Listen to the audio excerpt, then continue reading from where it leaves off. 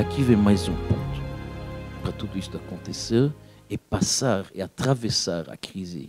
Ou atravessar esta travessia, atravessar, travessia, como diz a presidente. Na verdade, em paz. Como? Dizem os nossos sábios, otimismo, positivismo, pensamento positivo.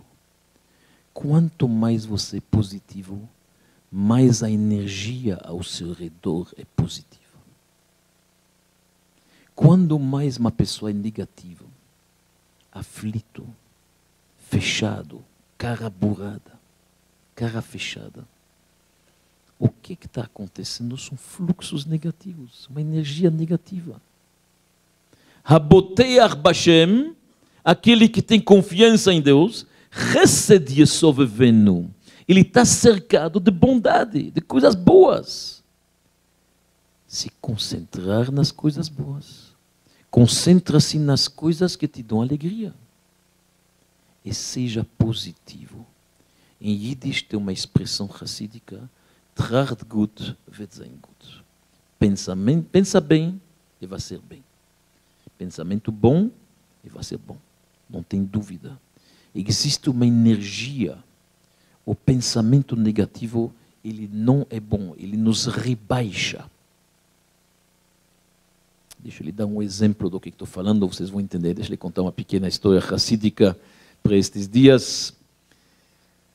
Dias de retorno a Deus, dias de inspiração entre o Shana Yom Kippur. Havia um pai e um filho, ambos muito pobres. Viviam numa aldeia, era inverno forte na Europa, neve, gelo, e havia somente um casaco em casa um casaco de pele. O pai, que era mais velho, achava que ele deve ficar com o casaco. O filho disse para o pai: Papai, você fica em casa, eu estou indo trabalhar o dia inteiro para prover e pagar as contas. Lá fora é um gelo, me deixa usar o casaco. Aqui em casa, você toma um chá quente. Eu lá fora estou no gelo, eu vou pagar tudo. O pai queria o casaco para ele, o filho queria o casaco para ele. Briga, mal entendido. O que, que se faz? Você vai no rabino.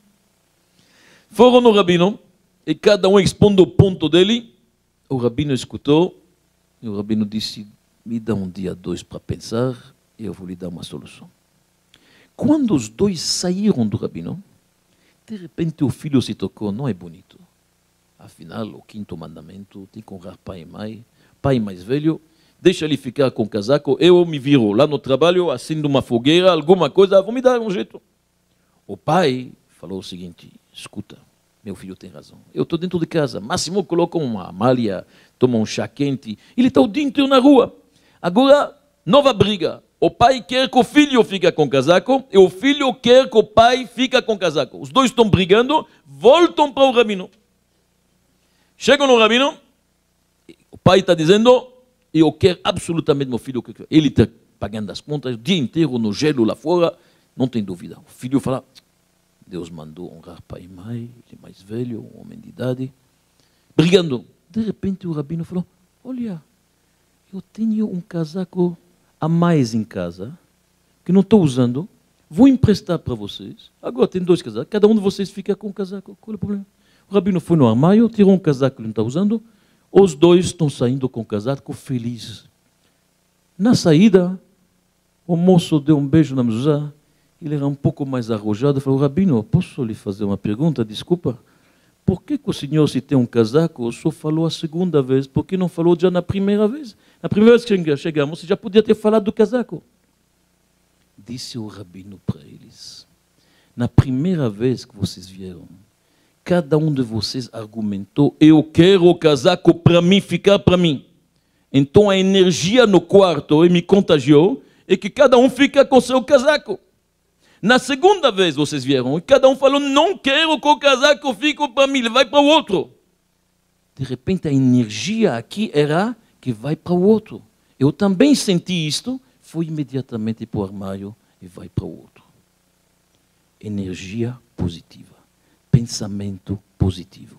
Não se concentrar nos problemas. Existem, tem que resolver, tem uma hora para isso.